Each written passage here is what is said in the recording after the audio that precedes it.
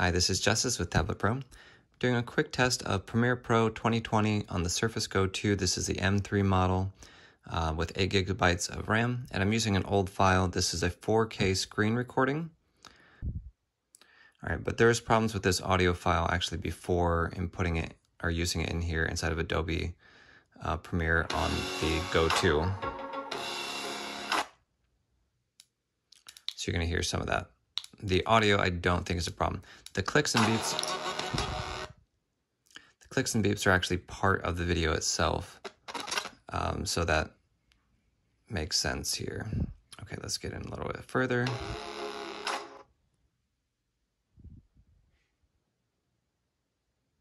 So you'll see this turning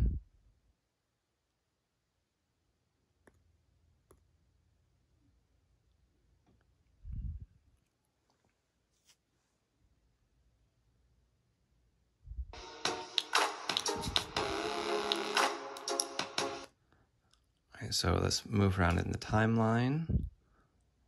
Do the selection tool. Let's go ahead and make an edit and move this over, make another edit. We're going to select right here and we're going to delete it. Uh, let's go over here and see if I can paste that. Oops, I have something in the clipboard from before. Okay, let's go back. We're going to select this. We're going to copy it and then paste it. And then let's delete it over here.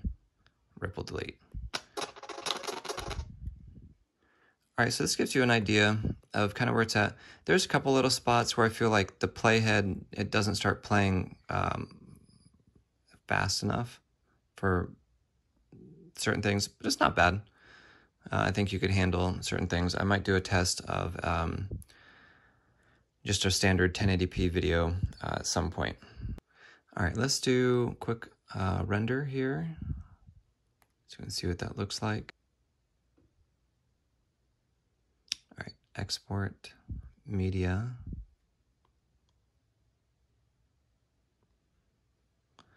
And let's leave this setting as it is. And let's make sure this goes to the desktop. Oh, I'm sorry. This resolution is 1616 by 1080. Uh, I have it set to cut it in half.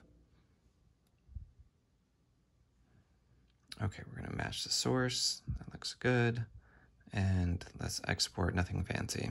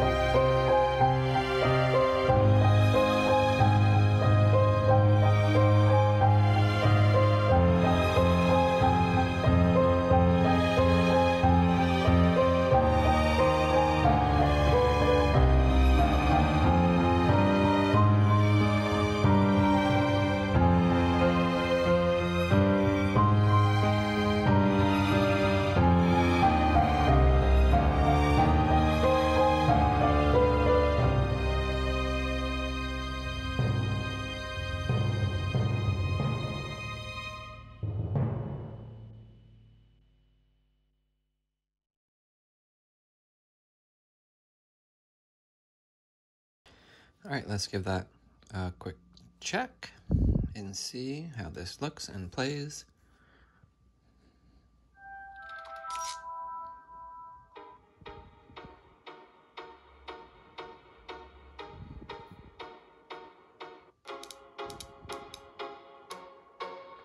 This was so fun to do.